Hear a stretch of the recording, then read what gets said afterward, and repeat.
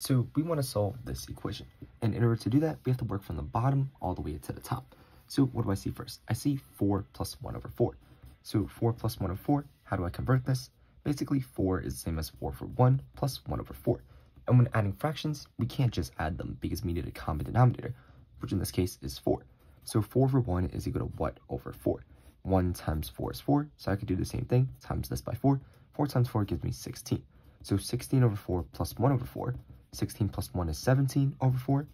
And then I have this 1 over it. So 1 over 17 over 4. We have to remember this rule of math where 1 over x over y is just equal to y over x. All you have to do is flip this. So this is actually just equal to, so 17 over 4 just becomes 4 over 17. So rewriting this big expression, that becomes 1 over 4 plus 1 over 4 plus 4 over 17. Now I have to evaluate 4 plus 4 over 17. So how do I do that? 4 plus 4 over 17. I need a common denominator again because it's the same as 4 over 1 plus 4 over 17. My common denominator is going to be 17. So in this case, 4 over 1 is equal to what over 17? I multiplied this by 17, so it means I have to multiply the 4 by 17. 4 times 17 is going to give me a total of 68. So this becomes 68 over 17 plus 4 over 17. 68 plus 4 gives me 72 over 17 this entire thing is over 1 again. So remember, anything over 1, we just have to flip it.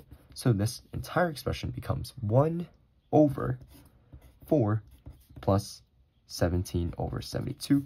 That's going to be my final expression because what's 4 plus 17 over 72? What I'm going to do is rewrite 4 over 1 plus 17 over 72. I need a common denominator again. In this case, it's going to be 72. So 1 times 72 is 72.